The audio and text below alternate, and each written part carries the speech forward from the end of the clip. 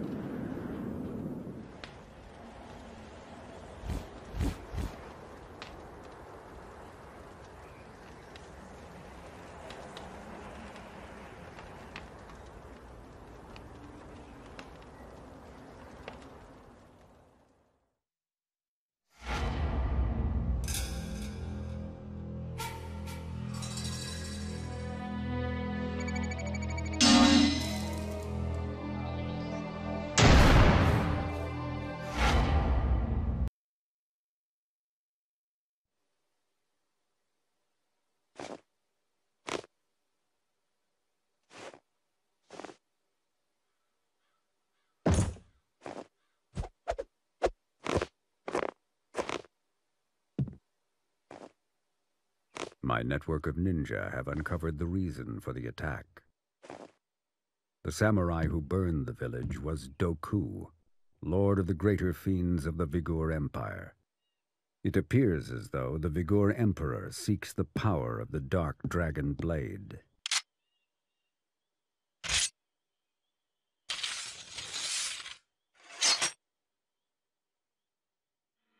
Doku.